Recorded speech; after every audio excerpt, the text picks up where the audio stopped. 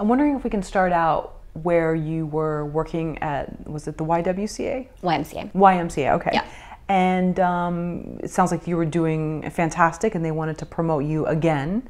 And if we could start out on that story because I find it so fascinating. Yeah, absolutely. Um, so this is a lot earlier, and obviously in my career. Um, I graduated from film school, went to USC, um, kind of thought like everybody does when they graduate from film school that you're going to graduate with like a three picture deal and that isn't really how it works and so um, while i was in college i had worked as a lifeguard and kind of an aerobics instructor and at a ymca and um, they kept promoting me. And every time someone would quit, they would say, Well, do you want to learn how to do this job? And I always said yes. And so eventually I worked my way up to program director and ultimately executive. Uh, senior uh, senior program director, which is right under the executive director. So the executive director heads up a branch, and then there's a senior program director or two, and then all the program directors under that person. So I had been working there, and um, it was i mean it was fine it wasn't what my degree was in and so at one point finally i thought well you know i had a lot of school debt um, going to usc obviously i was like I think I, I think I was about sixty, seventy thousand dollars in debt at that point. And my executive director came to me and said, um, you know, we'd really love to give you your own branch, um, but we need a five-year commitment from you to do that. And they were going to pay me over hundred thousand dollars a year, and that would have been great going towards my debt. And so I said, well, let me let me think about that. So I went home that night, and I really thought about you know what I wanted to do with my life. I had gone to film school. I really hadn't given it the chance that it deserved. And um, so I thought, well, I'm this much in debt anyway.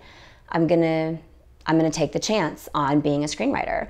And so I went back the next day and I thanked the executive director for the offer and um, said, you know, I, I can't accept it. And also I have to put my two week notice in.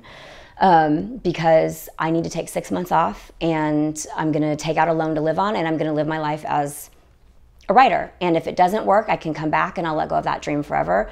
But if it does work, I owe it to myself to give myself this chance to actually become a screenwriter. So I did exactly that. She wow. was not happy wow. um, that I was leaving, but um, but I did put my notice in, and um, I did take out a loan to live on. And during that time, I wrote two screenplays. I never sold either of them, but they both got me work. And um, they got me work, and then those got me work. And it actually ended up being really the beginning of my career as a screenwriter. Wow, so many questions. I know, right? Because and there's so many little interesting parts to that and scary parts too. Yeah. And I've known a few people that have been stuck with the debt doing something similar. Yeah. So I know that is a risk. It, it's a huge risk, and I would never encourage anyone to emulate that in any way. For me, um, for me, it worked, and I think because I'd already spent the four years in school, you know, kind of gearing myself up towards this career, and I think also. I needed that time. It was such a distraction to be working full time. I needed that time every day to truly be writing. And I spent every moment of that six months furthering my career, going to networking events, um, watching a different movie every day and breaking it down and doing an outline so I could understand the structure of it. Um, all of those types of things, and then and actually writing, spending the time writing, so and reading. Uh, so um, for me, it worked.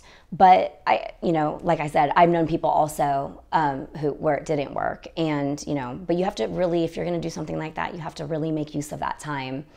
You know, it can't be one of these things where you're going to try to figure out what you want to do creatively because I think that you kind of just end up treading water in a way. Um, you've got to have a plan and you've got to execute that plan. Fascinating. Um, I want to hear more about the six months, but just one quick question before, or two quick questions actually, yeah. and that is did you already know and forgive me if this is too personal did you already secure this loan so you knew or you knew that you could go and get it I mean, oh, I know that's I, a very trust personal. me. When you're 60 grand in debt, let me just explain something to you. Uh, you get so many credit card offers that will, you know, you can pay 20,000. Here's an additional 20,000. They all want that you're like the best customer ah, ever, okay. right? I see. Because they know you carry debt. So, and and I was making the minimum payments. So, but again, you're going further in debt by by doing that. But yet, you're you're sort of like the the golden child for the credit card company. So I had plenty of offers. I knew I could take out loans, additional loans and lines of credit on my credit cards. Ah, okay. So it was just it wasn't if it was just which one. Yeah, kind of thing. exactly. Okay, gotcha. And then my other question was, while you were working at the YMCA, were you also writing on the side? So you knew that this. I mean, aside from going to film school. Yeah, I, I thought I was going to, but I think at the level where you become a, a senior program director, I mean, you're working so many hours, and you're also. I mean, I had I had like I think 45 people working under me at that time, and so when they don't show up, you have to cover, and so you come home and you're not in any place to really be creative. So I for me I found that I wasn't during that time. I had really just put all the writing on the back burner and, and that was it. Even on the weekends I would get a few hours in, but it was that's not enough to to make a career out of writing.